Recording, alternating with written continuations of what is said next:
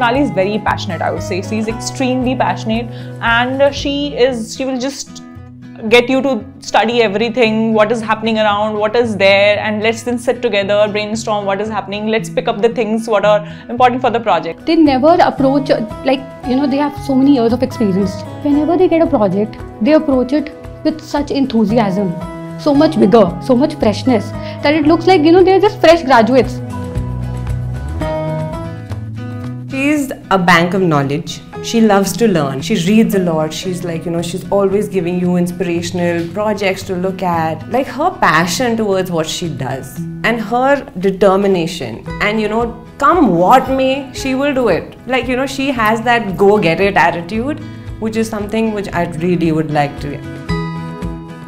I don't think that it's her quality but the quality that she brings out in people and for me it has been self-reliance but morphogenesis has truly made me so independent in the way I think. Essentially, the total difference between a young firm and a mature firm that the ability to ideate, capture, and deliver in a professional manner. And, and that's, where, that's what the 25 year journey has been about.